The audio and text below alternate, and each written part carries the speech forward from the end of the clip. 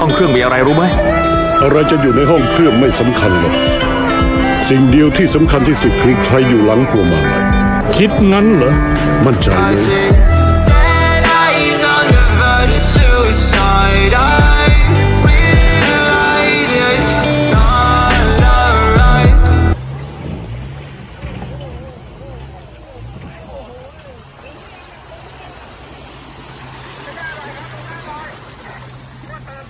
สองแล้วมั้ผมว่าคันเร่งลื่นเหลือเกิน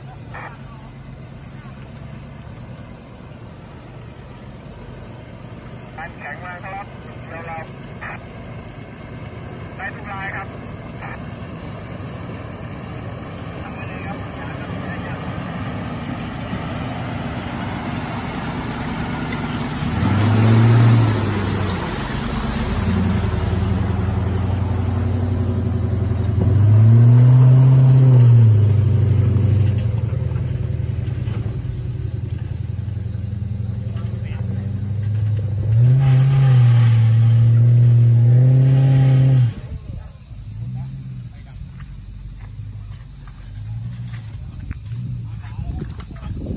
ขวา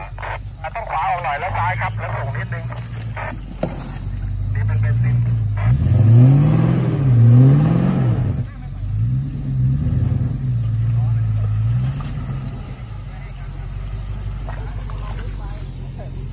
ลึกไปเลยขุดไว้ให้หน่อย